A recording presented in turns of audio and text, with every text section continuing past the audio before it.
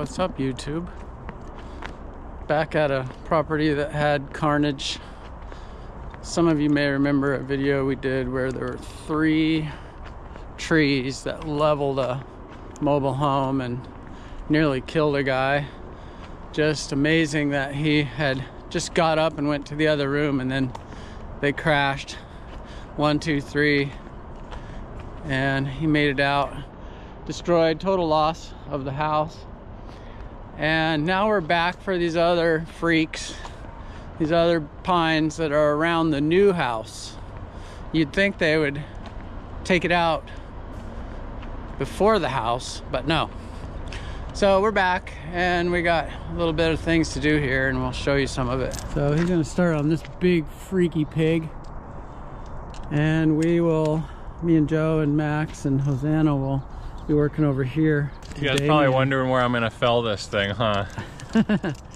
You know what's funny is that was my first thought when I went to my first tree job with some climber, some real arborist types, Uh huh. real arborist types that wore baseball hats and and spurred everything. But anyway, But that's beside the point. they had this tree and uh, it was impossibly hanging over this foundation. Uh huh. And I was like, where are they gonna fall it? That's me at 18 or whatever.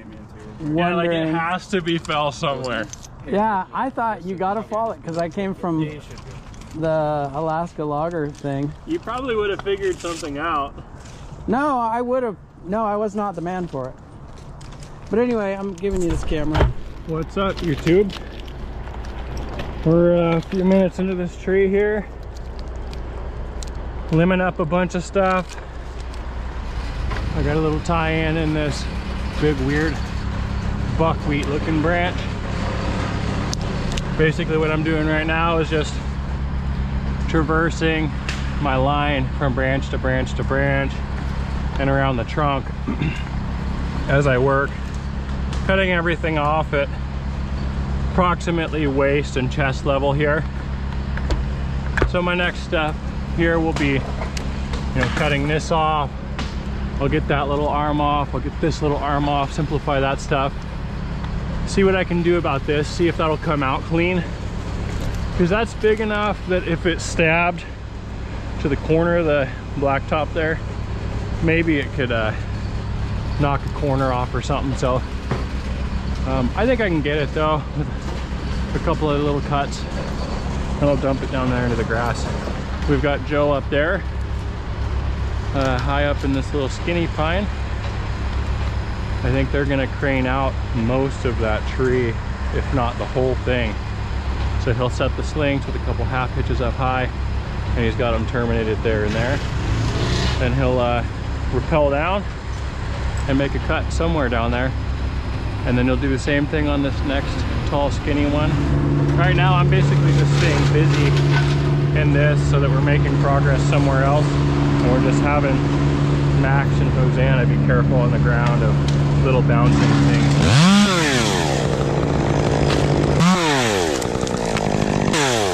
so now in order to get around this branch here this is what i'm doing is choking off around the whole tree cinching myself up, you know. This thing I'm sure I could trust, but it's crusty dead. I mean, oh, I wish I would have known that they were that far along. They came down, they made their cut. So now I'll just have to be watching out for these guys when they're setting stuff, when they're setting these down and making sure I'm not gumming them up or causing any potential hazards. Choked off here. I'm gonna undo my flip line, double checking everything beforehand, of course. That way I can get this around the tree. Got some little sticks and stuff on the other side there too. They're giving me troubles. Yeah. There it is. One of those situations where you can't give it the full beans all the way around the whole tree because you have to like keep it tight so that it clears branches like that and then let it fly and then it'll get distance around. Anyways, you know how to do it, probably.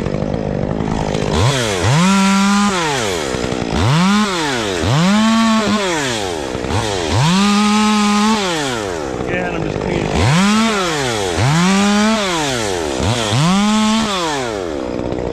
When the time comes,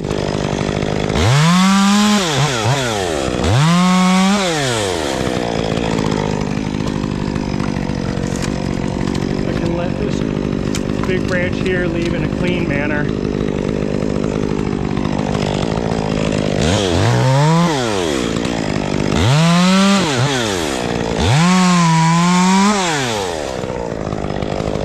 I'd like to get that big. You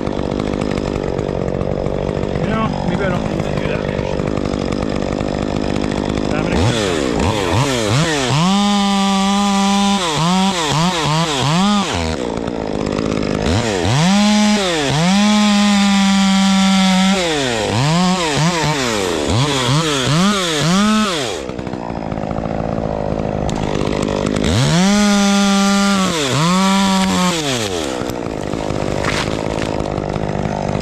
So on that big, branch there, you guys, you can kind of see where my concern was because that thing stabbed right like a foot from that blacktop there. It didn't do anything. It shot dirt up to the edge, as far as I know, as far as it looks. But I, I knew it was going to be super close. All right, so we got action on the forefront here. Boy, those pines are so bendy. That's not, uh, you know, yeah, it's just catching friction here in my tree, breaking branches out, but everybody is in a safe spot. Out from underneath the tree, I'm in a safe spot. He's checking his capacities and everything to make sure that he's staying well within where he needs to be.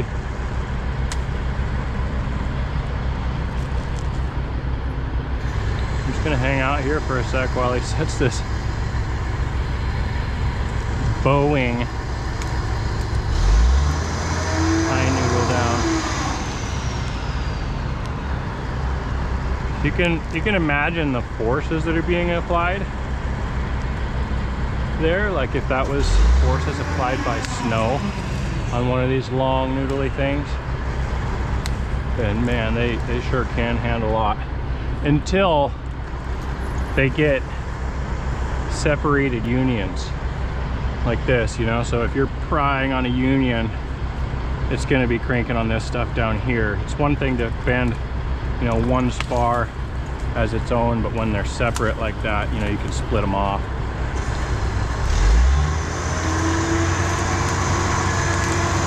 But they're both uh, half hitched up high and terminated down lower. So if we were to lose it and it broke somewhere between the half hitch and the termination, we would still have it at the termination. Um, and there would be a little bit of a dynamic load on the thing, which wouldn't be fun wouldn't be cool, but I'm assuming that's why he's keeping the boom high and getting a little bit of a cable angle here. Thing goes way out there. Anyways, I gotta preserve battery, so I'm gonna shut you guys down for a second and uh, you'll see that stuff from August's view.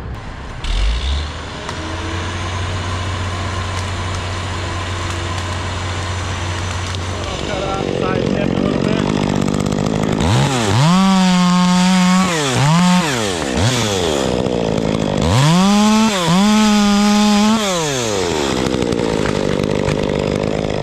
Woo! You're he's pulling his rope out right now. Looks like he's probably about down to where he's gonna make the cut.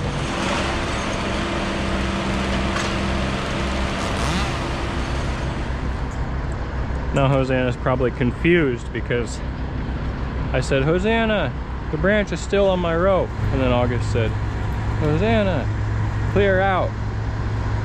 Which is absolutely the thing to do at this very moment. But as we all know, it's better to be safe and get out of there. And uh, my rope can wait. It's kind of a little dance between me being busy while they're setting picks and getting ready, and then uh, and then I wait while they are setting picks down, which is nice, you know, because you'll be running around in this thing, getting poked and stabbed and sweaty, so it gives you a little break. You don't have to go from point A to point B all in one swoop and um, still big things are being done. So I like it. I'm having a fun, good fun day. Either negative rigging or speed lining some tops out of this. I don't know if speed lining is going to be what we do today on this tree, but we might have to shorten that tree up for the boom.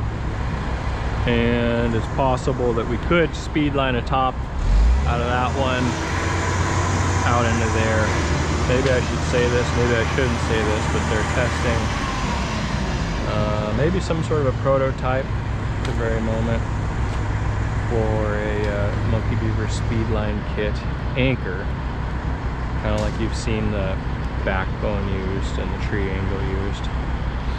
But um, this one's got some cool, unique features.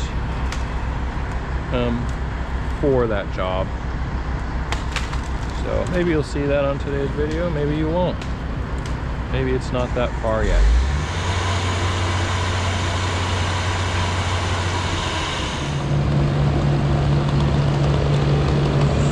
Smoothness.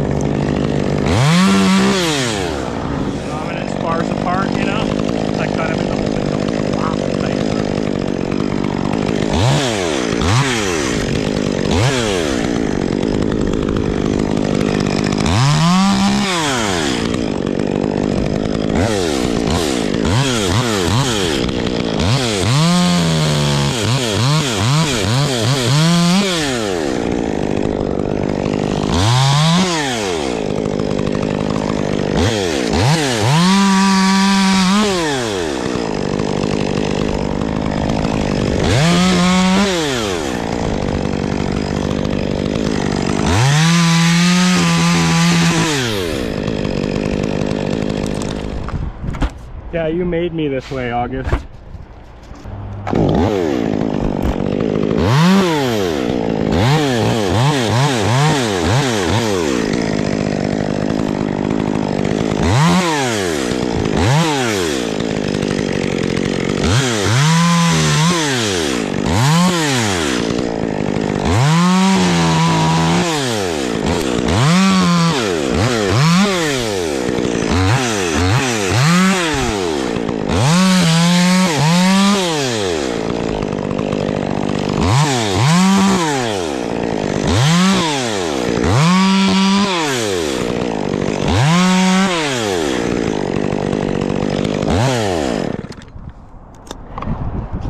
All right, thought I would uh, touch base with you guys real quick. What I'm doing is I've got a set, of, a set of rings here and a set of rings here. I'll make a face cut right here and tip that top out. And then I'll make a face cut right here and tip that top out.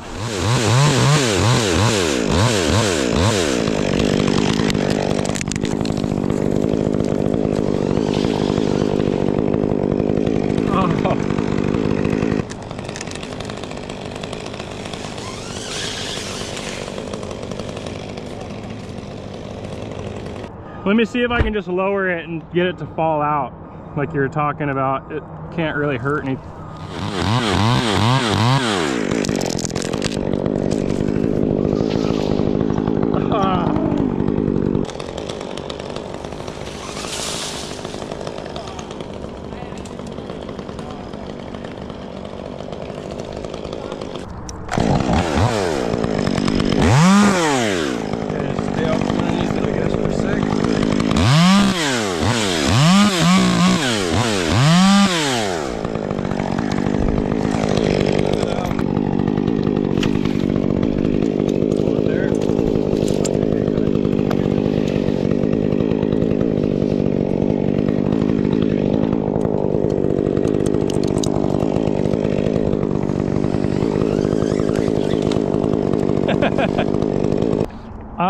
I could do a little, I could do some chunking onto the back side there until it starts getting big.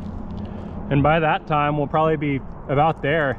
Yeah, that'll be easy chunking down to Joe's level, you know? Yeah, that's what I mean. I'll just, I'll just walk it down to where I have, because this stuff here to chunk would be still pretty easy chunking with the 201. I can just get it crane ready. All right, here we are. We're at the top. We're gonna just chunk wood down to be self-sufficient again and make progress again. And that was as flat as it gets.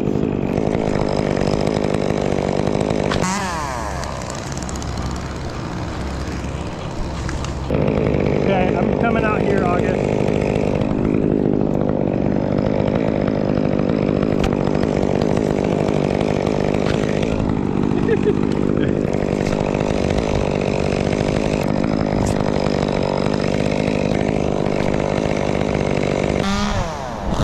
You have to make that tripping noise.